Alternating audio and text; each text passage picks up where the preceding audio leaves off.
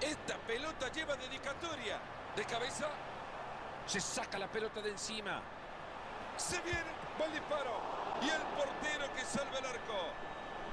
Con esta parada todavía hay partido.